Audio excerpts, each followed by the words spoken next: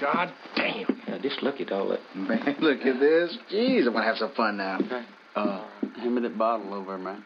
Get that right. just one, or you want two or three of them? Just give me one right now.